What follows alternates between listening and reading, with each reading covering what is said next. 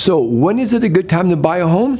Anytime is a good time to buy a home. I know what you're thinking. You're like, of course, well, all real estate agents are going to say that, but it's true. Let me give you a quick example. My dad bought this house here in 1962 in San Jose, California. And I remember he bought it for $10,000. And I remember him one time telling me when I got older that he was stressing out how to make that $89 a month mortgage payment. I, I know that ship has sailed a long time ago, okay? But the point is this throughout the 60 years, okay, now it's 60 years later, the home value went up and went down and went up and went down and went through the recession and 60 years later, $10,000 turned into 1 point, I think 1.1 the last time I checked. And that's the thing, your home is always going to appreciate. There's a real estate mentor I follow. Um, in fact, he, he actually is talking to us agents about how to educate or, or clients as far as how this actually works. And this little short video he was showing us, he actually is so crisp, so clean, so he, he simplified it so much. I thought I'd share it with you. Now he's a little rough around the edges, uh, kind of in your face because he's actually talking to us. But I think you'll see exactly how this works. Just check this out for a few minutes, and uh, I'll be right back. Now, uh, here's some stats that I saw actually on CNBC the other day. Uh, from a company called the National Association of Realtors. Uh, I generally consider their information pretty relevant.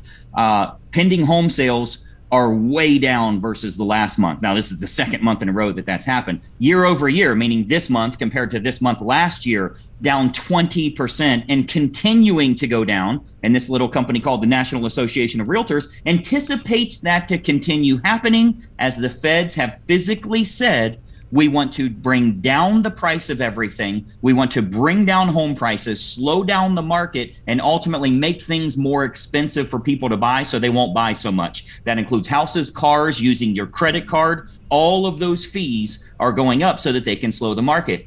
Big deal. If you've been doing this a long time, you know we have ups and downs. We know that happens. But here's what you got to understand. And, and this is, I should have um, uh, kind of give you a preface to this a lot of buyers are saying, you know what, I want to wait for home prices to go down. I understand we're going in a recession. We're in a recession. Some say we're in a recession. Some say we're not. I'm going to wait on prices to go down before I buy. You will pay more for your house if market values go down. Be very clear about this when you're educating your consumers. They will pay more money if prices go down. Oh, homes are going to go down by $50,000. It will cost you more than that. It will cost you more money if you wait. Well, how do we figure that? Well, if you go to a simple little website that's free called mortgagecalculator.org, you can show the comparisons here. What you see is three different lines. I think you can see my cursor. So, three columns, top to bottom. Let's say that home right now, it's 123 Main Street, okay? Four bed, two and a half bath. It's it's 123 Main Street. It's $500,000.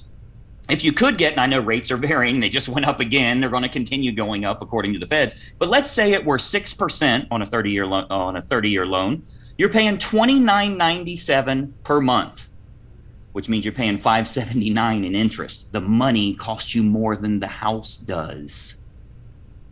Well, I'm going to wait. I, I, love this house at 123 Main Street, but I'm going to wait on prices to go down. Maybe if it goes down to 450. Well, the only way it's going to go down is if rates go up. The reason it's going down is because people can't afford it anymore. So the only way it goes down by 50 grand is if rates go up. And by the way, we're already past here now, thanks to the feds. Still a 30 year loan. Oh, you got it for 450? Congratulations. Now you're paying more every month. It costs you more to own that house, and it's an extra $75,000 over the course of the loan. What did you save? Well, let's say that, oh, I'm going to wait on to really crash. I think the market's going to crash, which it's not. But let's say it crashes. It goes all the way down to 425. Okay. Well, at 425, you know why it went down even lower? Because rates went even higher. Congratulations. Now that you got it for almost $100,000 cheaper, you're paying 3100 a month instead of 2900 Oh, you won, didn't you? You're paying $700,000 for the loan. How much was the house again? You're paying 700 grand for the loan. This is on mortgagecalculator.org. You have to uh, you have to show your consumer, the buyers and sellers, you have to educate them that the money costs more than the house does. You buy when rates are low, not when prices are low. How many people have you talked to? They say, "Oh, we're just going to rent for a while. The real estate market is crazy." Oh yeah? Well, we have this thing what we call a 30-year fixed payment. When you sign your lease on your rental, are you going to ask them for a five year fixed? Oh, no, it's not fixed. How often will they increase your rent? 5% every single year, you are signing up so that 10 years from now you're paying 50% more money. Ask your mama. She used to pay $400 a month for rent. You can lock in your monthly payment and own the freaking home. Okay, so I know what you're thinking. You're saying, wait a minute, he just said the best time to buy a house is when interest rates are low, which is true. But that was a year and a half, two years ago. Today, as we know, interest rates are a little bit higher. In fact, I predict, I could be wrong, but in about, before the end of the year, I think we're gonna see double digits interest rates, 10, maybe even 11%. Again, I'm just guessing, hopefully I am wrong. But that's the point. Did you see what happened, what he said just before I cut off the video? He said, lock in your rate. Lock in your rate. So basically, if you can afford to buy a home today, buy a home today. If you can afford to buy a home six months from now, buy a home six months from now. If you can afford to buy a home a year from now, interest rates might be whatever, 9.5% at that time. Well, lock in your rate at that time because what's going to happen is as interest rates continue to rise, you just lock yourself in. So you protected yourself. And when interest rates come back down, yes, when they do, they will eventually, nobody knows exactly when, but sooner or later they're going to come down. Guess what? You can always refinance at that time. And that's what he meant by he said, ask your mama. Because if you ask your mama, if your if your mom's been renting for 10 years uh, from you know from 10 years ago, she's going to tell you, hey, my landlord keeps raising the rent, and depending where you are in California, it could be five, six, or even seven percent. And the thing is, rents, you can't negotiate rent. You can't buy down rent. You can't refinance rent. Rent is rent. And every time you make a, a cut a, a, rent payment to your landlord, what you're actually doing is you're actually making his mortgage payment on his investment home. And not that I have anything against landlords, but when was the last time, if you're renting, when was the last time your landlord actually sent you a Christmas card and said, hey, Mr. and Mrs. Tenant, I just want to say thank you so much for taking such good care of my home. And as it continues to build equity, you're also making me very wealthy. And in fact, in two years, the home will be paid off, and I just might give it to my grandson as an inheritance or something like that. Is that going to happen? No, of course not. So rather than you making his mortgage payment, go out and get your own mortgage. In fact, call your lender. If you don't have a lender, I'll, I'll be refer you mine. She's a great lender. They have all kinds of loan products. They want you to buy a home. You can actually buy down your interest rate. If you have a little extra money, you just apply it towards the loan, and they'll actually work that out for you. Where rather you paying whatever the mortgage payment will be at that time, you can actually buy it down maybe a quarter of a point, half a point, even maybe a whole point. Or if you have a really good real estate agent, he can actually negotiate the, the seller credit you back ten or fifteen thousand dollars, and you can apply that towards buying down the interest rate. Now, if you want to get really crazy, the same co coach, uh, same real estate coach, Greg. This is this.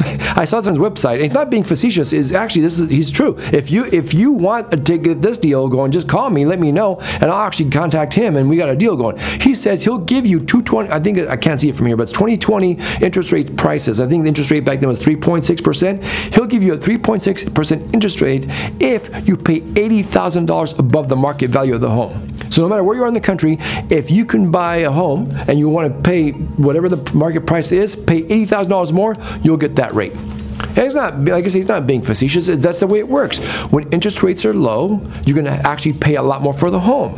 When interest rates are a little bit higher, like they are today, as you can see, prices are starting to drop a little bit around the Bay Area. So basically, you got two choices, like the lesser two evils. You either get a really low interest rate and you'll get a nice, comfortable mortgage payment, but then you'll be paying bugle bucks for the house, or like today, you're going to pay a little bit more in interest. It might be a little uncomfortable at first, but you'll get a really great deal on a house, and then when the interest rates come down, you simply refinance at that time. I personally feel the latter is the better option. So, what you learn today? When is a good time to buy a house? Anytime is a good time to buy a house, but I'm gonna put a little disclosure here. Anytime is a good time to buy a house, but buy a house when you're ready.